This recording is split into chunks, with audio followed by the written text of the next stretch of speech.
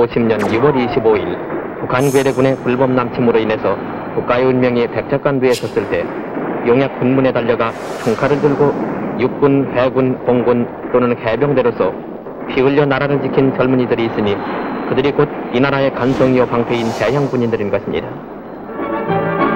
그러면 여기서 재향군인회가 하는 일을 잠시 살펴봅시다. 재향군인회는 국토개발이라는 국가적 요청과 실업 재향군인들의 직업발전이라는 일석이조의 성과를 기대해서 국토 재간 사업에 힘을 기울이고 있습니다.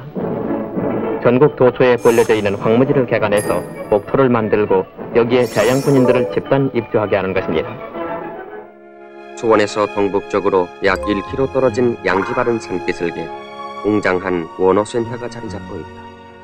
조국 수호의 싸움터에서 몸바친 순국용사의 유족 중에서도 의지할 것 없는 사람들 그리고 전쟁터에서 팔다리를 잃은 상위용사들이 여기 한데 모여 살고 있다. 상위 군경들은 직업 보도소에서 일자리를 얻어나가는 데 필요한 여러 가지 지식을 얻는다. 또 기력이 없는 노인들은 이곳 양로소에서 편안히 여생을 보낸다.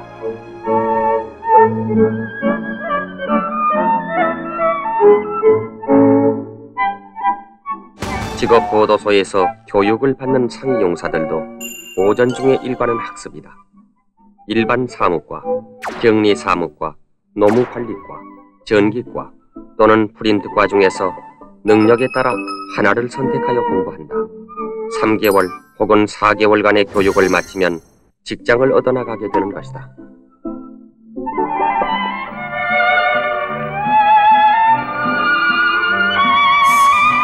원호의 기본 방침에 따라 상위 군경 중에서 치료를 필요로 하는 사람은 오리동에 자리 잡고 있는 원호병원에 수용해서 치료해주고 있는데 이 원호병원은 현대식 종합병원으로서의 모든 시설과 장비를 정비 확충해서 현재 200베트의 수용 능력을 확보하고 있습니다. 이 밖에 거리나 환자의 긴급성 등을 고려해서 긴급 가려나 집에서 통원할 수 있는 편의를 돌봐주기 위해서 의탁치료 제도를 마련하고 있는데 이러한 환자들의 치료비는 전액 국고 부담으로 하고 있습니다.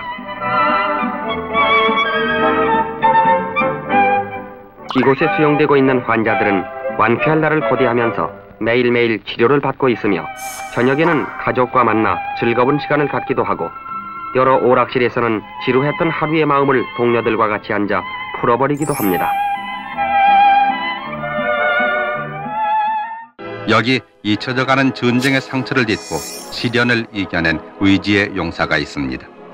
6.25 전란 당시 해병 소년 통신병으로 참전한 오옥진 용사는 52년 12월 중부전선 노루고지에서 바른편 눈을 잃고 명예제대를 했습니다. 어릴 때부터 취미로 익힌 목공 기술을 더욱 개발해서 각서 분야에 뛰어든 지 15년 훈민 정음을 각서로 옮기는 등 수많은 작품을 폈으며 국민 훈장 성류장도 받은 바 있는 자립 의지의 명예 용사입니다.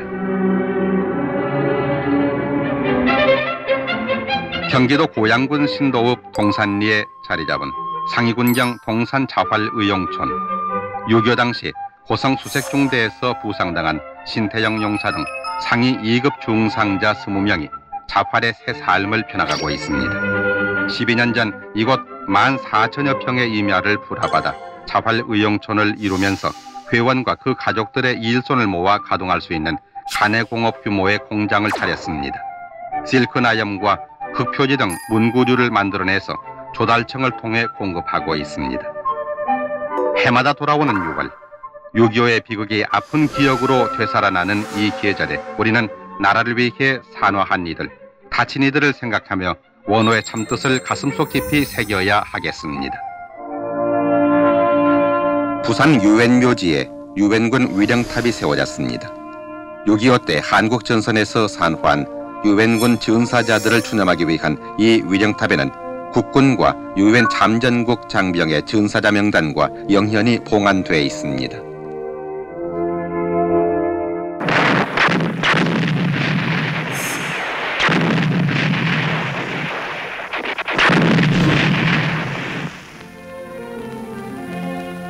북한 공산 집단의 기습 남침으로 시작된 3년간의 한국 동란. 한국의 자유와 평화가 무참하게 유린되던 절박한 순간에 자유의 십자군 유엔 용사들은 이 땅에 왔습니다. 그리고 침략자를 무찔러 한국의 자유를 수호했습니다. 그 대가는 너무나 엄청났습니다. 17만 8천 명의 유엔군 용사들이 이 땅에 피를 뿌렸던 것입니다.